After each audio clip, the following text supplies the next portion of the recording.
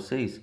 Hoje nós vamos começar a nossa 12 aula de arte e o tema que nós vamos abordar hoje será Contando Histórias Indígenas.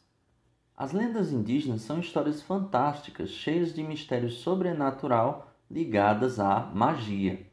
Nas nações indígenas, essas histórias são muito importantes, pois possuem o poder de doutrinar os jovens índios.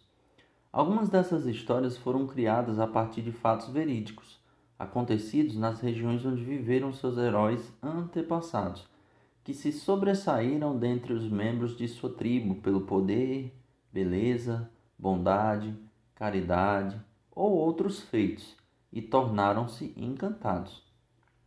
Outras referem-se à flora e à fauna da região, pois, segundo suas crenças, tanto as plantas como os animais, os rios, os igarapés, os lagos, as cachoeiras e o mar possuem os seus protetores que exigem respeito e inspiram temor.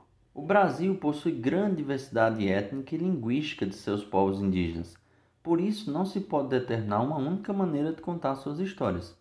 Existem muitas histórias de mitos indígenas que são divulgados por meio de narrativas orais ou em livros e materiais audiovisuais com o objetivo de promover a cultura indígena brasileira. Entre essas histórias, há uma narrativa popular no estado do Piauí que trata do amor entre dois indígenas, a Zabelê e o Metara, que faziam parte de povos rivais.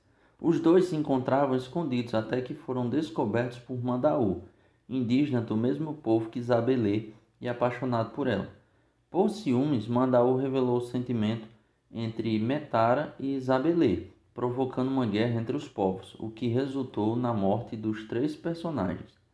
Tupã, deus da mitologia tupi-guarani, sensibilizado pelo desfecho trágico do amor entre Isabelê e Metara, transformou-os em dois pássaros coloridos. De acordo com a história, até hoje os dois pássaros vivem voando e cantando juntos pelos céus do Piauí. Essa história faz parte do repertório da contadora de histórias Carla Sena que adaptou a narrativa incluindo elementos como cânticos, poesia e instrumentos indígenas da região onde vive. Seu objetivo é destacar aspectos da vida e dos saberes das comunidades indígenas de seu estado, o Piauí, bem como a relação com a natureza, o respeito à diversidade e a ligação com os antepassados. Essa lenda indígena também serviu de inspiração para Gilberto Gil e Torquato Neto, que fizeram a música chamada Zabelê, Vamos conferir a letra dessa canção? Minha sabiá, minha zabelê, toda meia-noite eu sonho com você. Se você duvida, eu vou sonhar para você ver. Minha sabiá, vem me dizer, por favor, o quanto que eu devo amar para nunca morrer de amor. Minha zabelê, vem correndo me dizer, porque eu sonho toda noite e sonho só com você.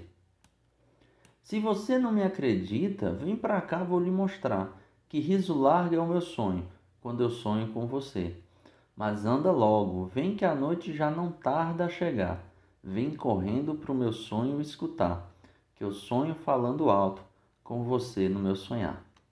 Vamos conferir mais algumas lendas indígenas.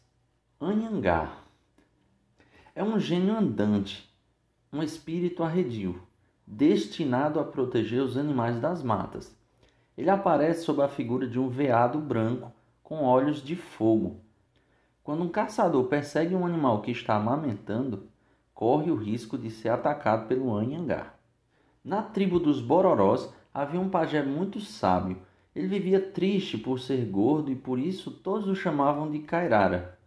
Certo dia, ele descobriu uma erva que os macacos comiam e os conservavam sempre esbeltos e ágeis. Resolveu tomar um chá feito da erva para ver se ficava esbelto como os macacos. Durante sete dias, ingeriu a porção. Ficou esbelto, os cabelos finos se alongaram, as pernas encolheram. Ficou assustado quando viu que até um rabo começou a aparecer.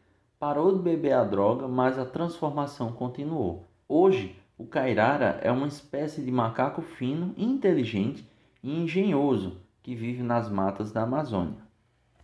O Irapuru Certa vez, um jovem guerreiro apaixonou-se pela esposa do grande cacique, mas não podia aproximar-se dela. Então pediu a Tupã que o transformasse num pássaro. Tupã fez dele um pássaro de cor vermelho telha. Toda noite ia cantar para sua amada, mas foi o cacique que notou seu canto. Tão lindo e fascinante era o seu canto que o cacique perseguiu a ave para prendê-la, só para ele. O Irapuru voou para bem distante da floresta e o cacique que o perseguia perdeu-se dentro das matas e igarapés e nunca mais voltou. O lindo pássaro, então, sempre volta para cantar para sua amada, esperando que um dia ela descubra o seu canto e seu encanto. Os contadores de história têm diferentes formas de se comunicar com o público. Uma característica comum é o desejo de envolver a plateia por meio da história que está sendo narrada. Alguns contadores usam instrumentos musicais, elementos cênicos, manipulação de objetos ou fantoches, entre muitas possibilidades. Outros, no entanto, preferem trabalhar apenas a sonoridade das palavras e sua capacidade de despertar imagens em quem as ouve. Narrativas gregas consagradas como Ilíada e Odisseia foram primeiro contadas oralmente e mais tarde registradas na forma escrita. Na Grécia Antiga, há mais de dois mil anos, os poetas que narravam esses poemas eram chamados de aedos. Bom, pessoal, com isso chegamos ao fim da nossa aula. Espero que vocês tenham gostado e nos vemos na próxima oportunidade. Tchau, gente!